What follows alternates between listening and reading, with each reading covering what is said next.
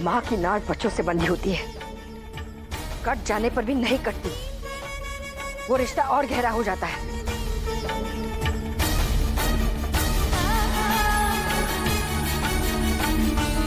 लेकिन ठाकुर साहब, हमारे इस माँ बेटी के रिश्ते से भी नाराज़ है। लेकिन इसका मतलब ये नहीं कि आभा का कोई नहीं है। हम उसकी माँ अब भी ज़िंदा हैं। ज़रूरत पड़े तो हम करेंगे आभा का कन्यादान। अकेले।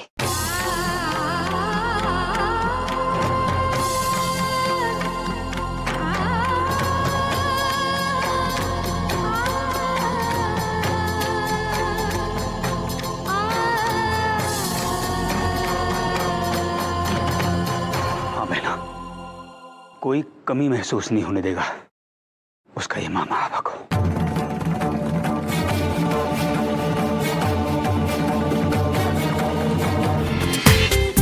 पूरा एपिसोड देखिए Z5 पर। जिस स्वर्ण भवन में आप बचपन से खेली हैं, आज उस स्वर्ण भवन के कोने कोने को तुम्हें संवारना होगा आभा अपने घर को अपने हाथों से संवारना परिवार को अपना बनाकर खुशियाँ बांटना हर बहू का फ़र्ज़ होता है। और एक पत्नी का फ़र्ज़ होता है शाम तक अपने पति का इंतज़ार करना उसे खुश रखना उसकी सेवा करना। सेवा? सेवा? हम्म। अब देखिए सुबह सुबह जब पति उठे तो उसे गर्मा गर्म चाय का प्याला देना हम्म। दिन में उसका मनपसंद खाना बनाना। और रात को जब वो की सबसे पहली चाय तो दादी को मिलेगी। फिर सर? मतलब पापा को। और फिर सबका नंबर आएगा। भाई इतने लोगों का प्यार पाके अगर आप हमें भूल गई ना तो ऐसा कभी नहीं होगा। और क्या क्या होगा? कुछ नहीं। बहुत बातें हो गई। अब आराम कर लो। सानिया बेटा जी आज करण हॉस्पिटल से घर आ रहा है। वो तो जान नहीं पाएगा। उसके शादी के कपड़े बेटा तू ही जाके ले आ हाँ? जी दादी। अरे दादी मैं क्या कह रहा था? सुनवीर हाँ स्वर्ण भवन की सजावट का जिम्मा तेरा है। मेरी बहू के स्वागत में कोई कमी नहीं होनी चाहिए समझा? अरे दादी सब कुछ वैसे ही होगा जैसे आप चाहती हैं। आप बिल्कुल फ़िक्र मत कीजिए। वीर भैया हम लोग मार्केट चलते ना सारी शॉपिंग कर लेंगे। हाँ हाँ दादी हम जाके आते हैं। हाँ हैं। ठीक है ठीक है ठीक है। क्या बात है अम्मा? सारी तैयारियाँ हो गई। हाँ बेटा सब हो गया। बस अब तो इंतज़ार है परसों का जब आभा हँसी खुशी इस घर में बहू बन के आएगी। जी अम्मा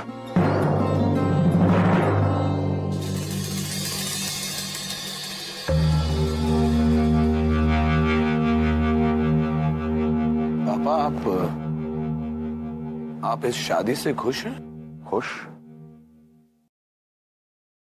बहुत खुश हूँ। मैं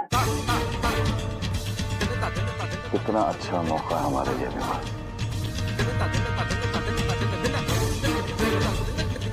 नहीं समझे। क्या पल होगा वो? जब शादी होगी, मेरे बेटे की उस ठाकुर की बेटी के साथ ऐसी धूम मचाऊँगा। सब लोग ये नज़ारा देखते रह जाएँगे।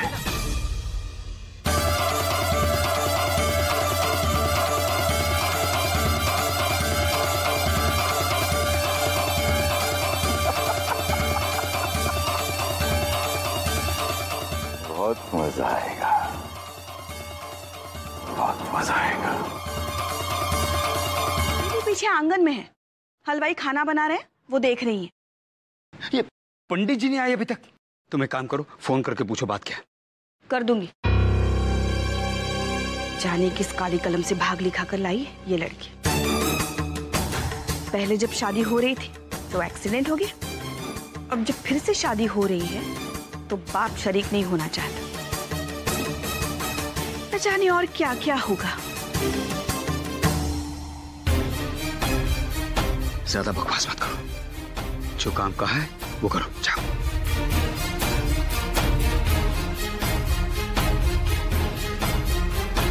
अरे प्रकाश बेटा मंडप तैयार हुआ और अभी कितनी तैयारियाँ बाकी हैं? बस वो ठंडे पानी और शरबत के लिए बर्फ़ नहीं आई अभी तक बताओ।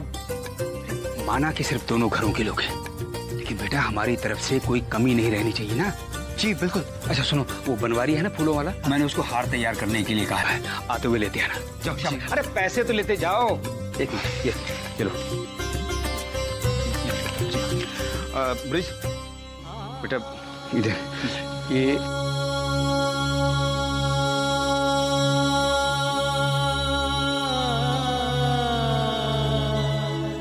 संस्कार बेटा। जी मामा जी।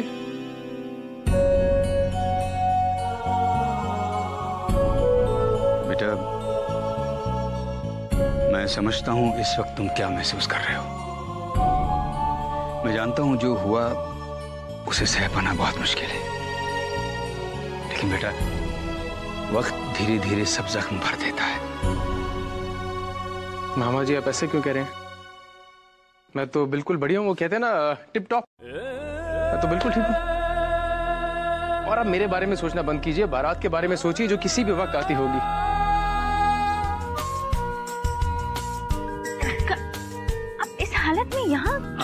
अपनी दुल्हन को सबसे पहले सजते हुए देखने का हक मेरा है। है ना? वैसे मैं तुम्हें ये जेवर देने आया था।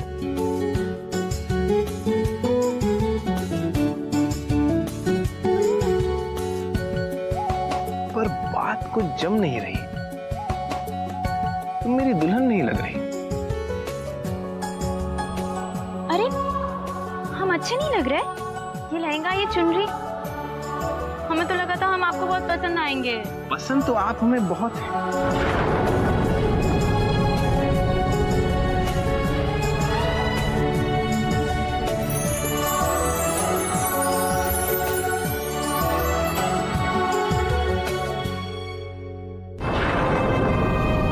अब लग रही है आबा मेरी दुल्हन। पता है मेरा मन क्या कर रहा है? कि ये बारात बारात सब छोड़ो। और तुम्हें बस अभी यहाँ से उठा के ले जाओ और हम बस दोनों भाग चले। करण अब जाइए यहाँ से। अरे जाइए। ध्यान से। आभा दीदी वो चल कर मैं तुझे जल्दी से तैयार कर देती हूँ। आ बैठ।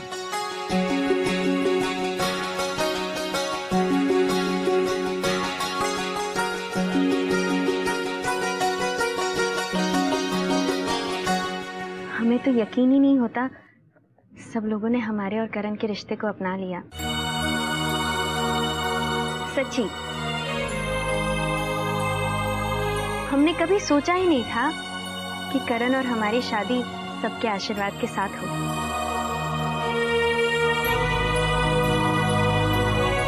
दीदी, क्या हुआ? इतनी परेशान क्यों हैं? आभा, वो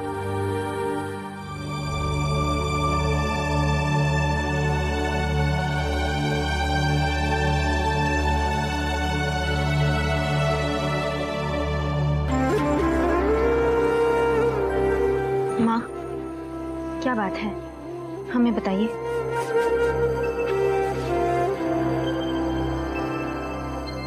आबा सबके नसीब में हर खुशी नहीं होती। किस्मत कोई ना कोई खुशी छीन लेती है सबसे। जैसे आज तुम्हारी किस्मत ने तुमसे खुशी छीन ली है। माँ ये सब आप क्या कह रही हैं? हमें ठीक से बताइए ना। बेटी का विवाह तब संपूर्ण होता है जब उसके पिता उसका कन्यादान करते हैं। लेकिन तुम्हारा कन्यादान सिर्फ़ तुम्हारी माँ ही करेगी।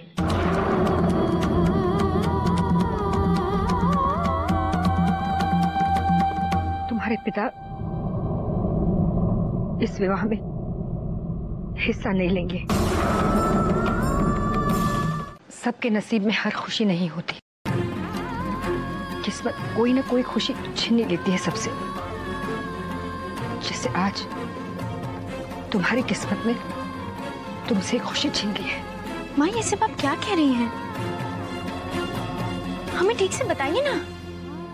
बेटी का विवाह तब संपूर्ण होता है जब उसके पिता उसका कन्यादान करते हैं। लेकिन तुम्हारा कन्यादान सिर्फ़ तुम्हारी माँ ही करेगी।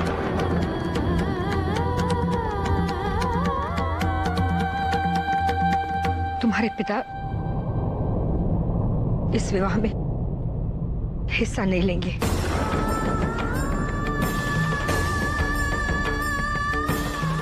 और ना ही तुम्हारा कन्यादान करेंगे।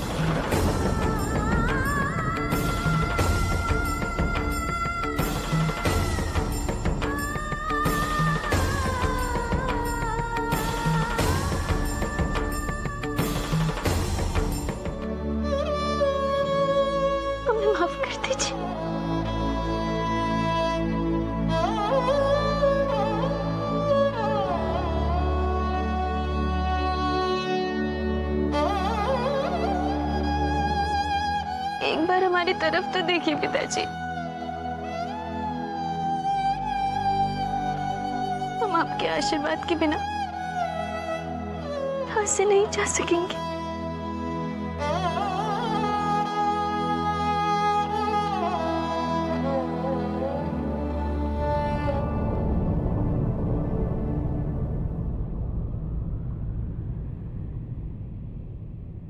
क्या आशीर्वाद दें हम तुम्हें स्वर्णाभा ये आशीर्वाद दें कि जाओ जाओ उस कुल का मान बढ़ाओ। जाओ उस खानदान की इज़्ज़त के लिए अपना सर्वस्व न्यौछावर कर दो। वो खानदान वो खानदान जिसके दिल में तुम्हारे लिए जरा भी कदर नहीं, ये आशीर्वाद दें हम।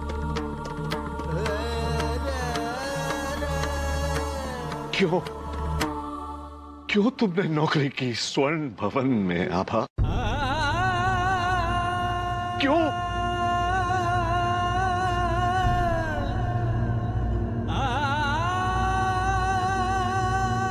वो जगमोहन प्रसाद तुम्हें अपनी बहू नहीं, अपना गुलाम बनाकर ले जा रहा है यहाँ से। क्योंकि हम हम जानते हैं आभा, उसकी मंशा। उसकी मंशा सिर्फ़ हमें चोट पहुँचाने की है। तुम्हें अपनी बहू स्वीकार करने की नहीं है। तो अब ऐसे में हम अगर तुम्हें आशीर्वाद देते हैं तो आशीर्वाद आशीर्वाद नहीं, श्राप बन जाएगा तुम्हारे लिए।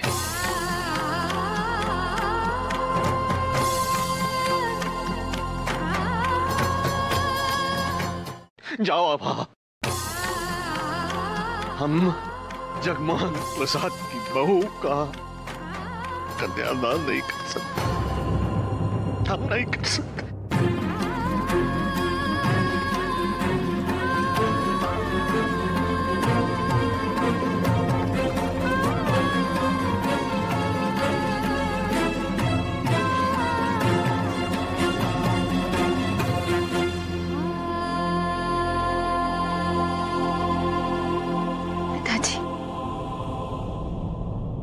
किसी की बहू बनने का मतलब ये तो नहीं होता ना? कि हम आपकी बेटी नहीं रहेंगी।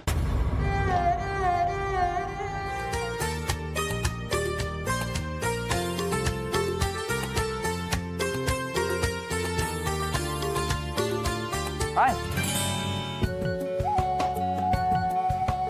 मुझे बताओ ना कौन सा अच्छा है। अच्छी लगी तेरी सारी बातें। क्यों? होते होते तू भी प्यारा हो नहीं कुछ भी अच्छा लगता तुम्हें? मैं तेरा था मैं तुम हो गया। मैं अच्छा तो है। गुम थैंक यू गया। तुम मेरे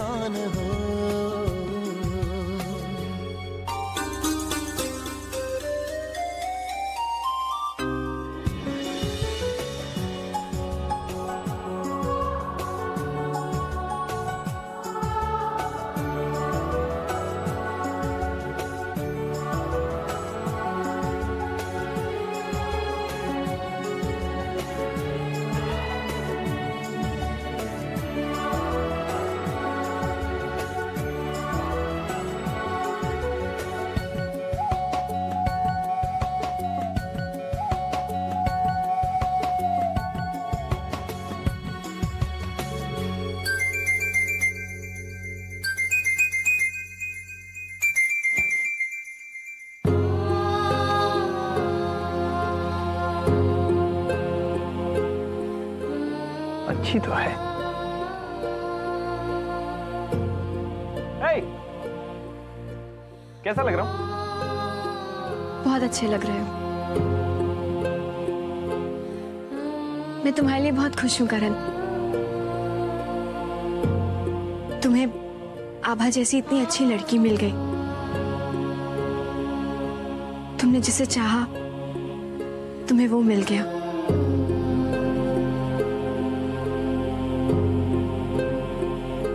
आई नो सान्या, मेरे मुश्किल समय में तुमने मेरा साथ दिया। थैंक यू सो मच तुमसे अच्छी फ्रेंड तो किसी को नहीं मिल सकती। यू आर द बेस्ट बस बस बस।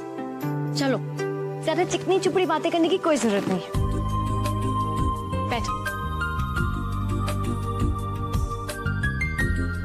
सॉरी सॉरी सॉरी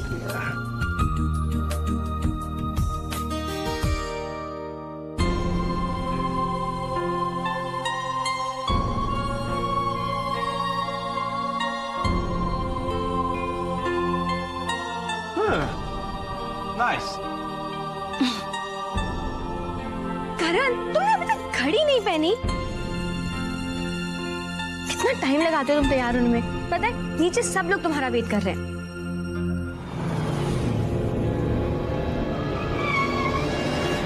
माँ, देखो बारात आ रही है।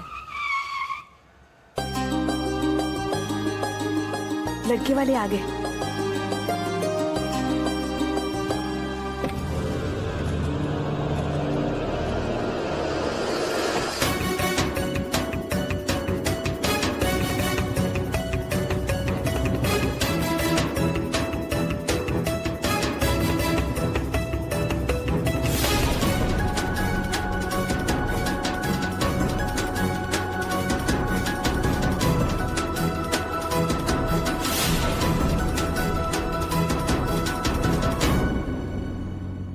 पापा वहाँ क्यों रुक गए? मैं देखता हूँ।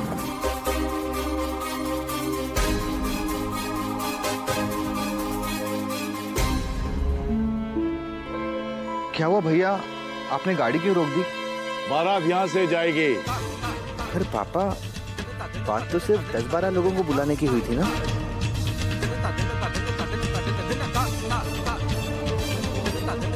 मैंने भी कुछ खास दोस्त और घर वालों को ही बुलाया रिश्तेदारों को बुलाया तुम्हें इतनी चिंता करने की क्या ज़रूरत है?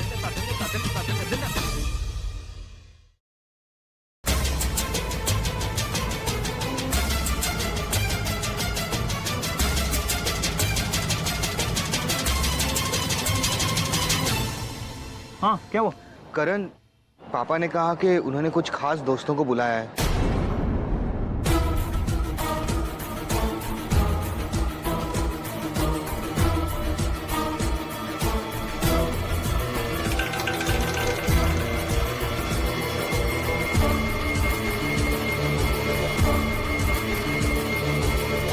पापा ने कहा कि उन्होंने कुछ खास दोस्तों को बुलाया है।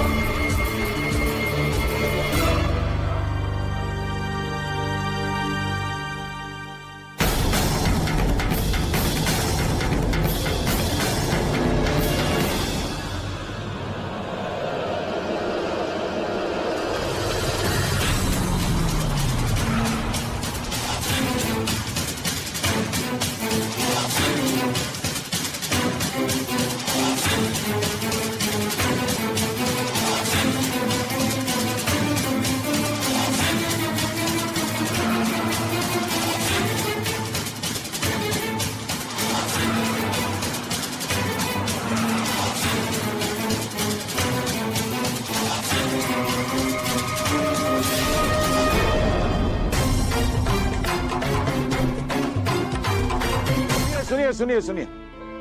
ठाकुर साहब के घर तक बारात यहीं से जाएगी। बैंड वाले आओ!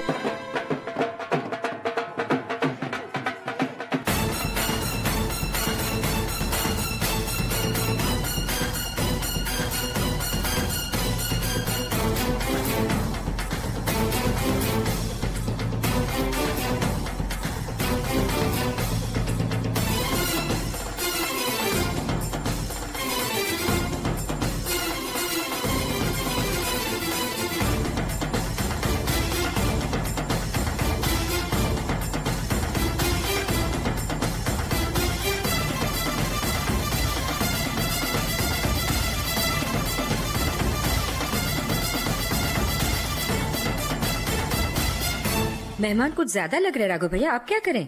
बहना आप चिंता मत करो। मैं मैं मैं कुछ करता हूँ।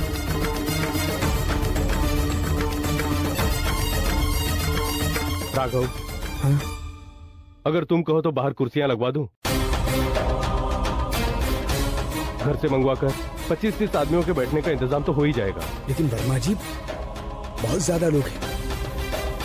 राघव भैया, मेरे एक दोस्त का टेंट हाउस है। मैं अभी उसे फ़ोन करके बोल देता हूँ कि यहाँ टेंट और कुर्सियाँ लगवा दे। लेकिन सारा सामान आने में एक आध घंटा तो लग ही जाएगा।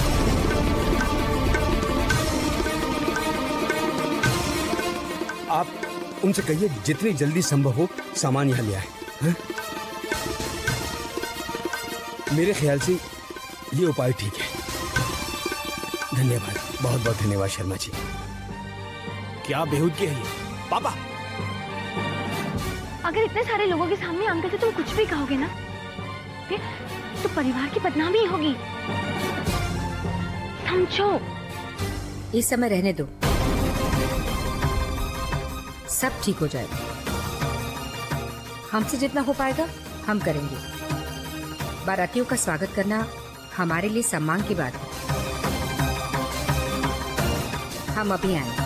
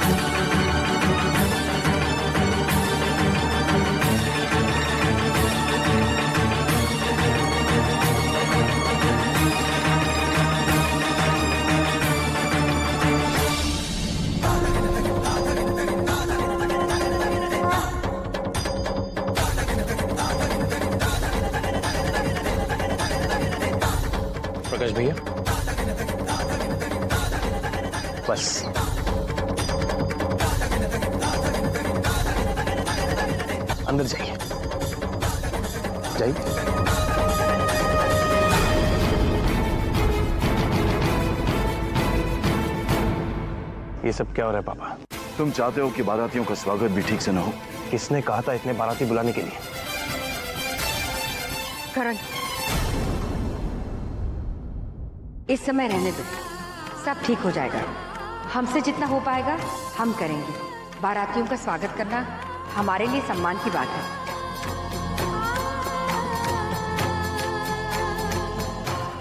चलो प्रकाश अंदर चल के बाकी की रस्में भी पूरी कर लें। एक मिनट। एक रस्म और पूरी कर लेते हैं।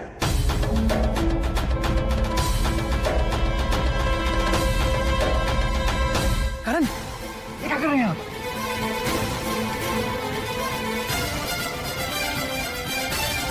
What the hell are you doing? क्यों पापा? प्रकाश भैया मुझसे बड़े। जिस तरह उन्होंने सबके पाँव हाथ लगाकर उनका आदर किया है मैंने उनके पाँव छूकर उनका आदर किया।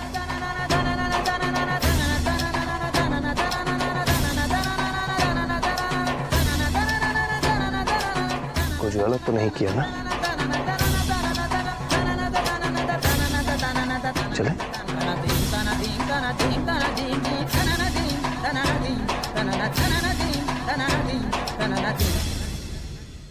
इतने सारे बारातियों के लिए इतनी छोटी सी जगह? कैसे? जी वो आ, अब वो आँगन में बैठने का इंतज़ाम हो रहा है। टेंट हाउस से वो सामान आ रहा है। वाह क्या खूब इंतज़ाम किया ठाकुर साहब ने वाह।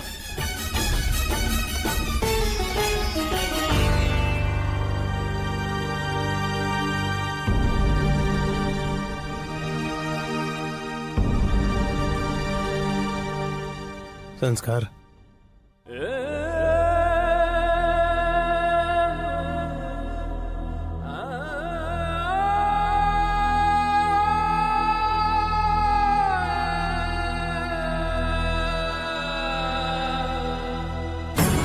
बेटे विमल और शैली की शादी हुई थी। तो शैली के पापा ने, वाह का इंतज़ाम किया था।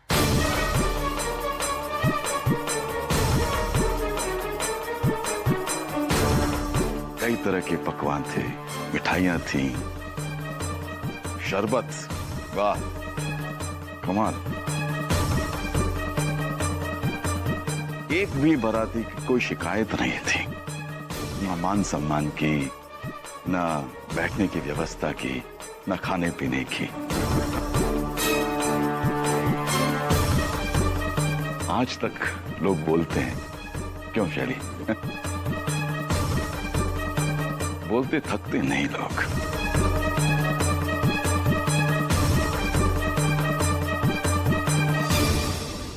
लता दीदी।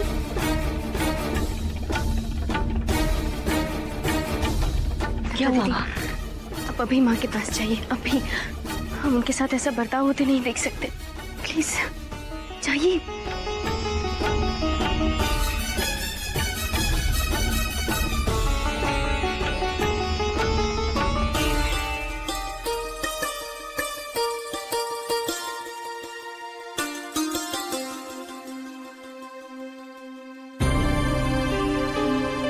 माँ हमें आपसे कुछ ज़रूरी काम है। माफ़ कीजिए हम अभी आते हैं।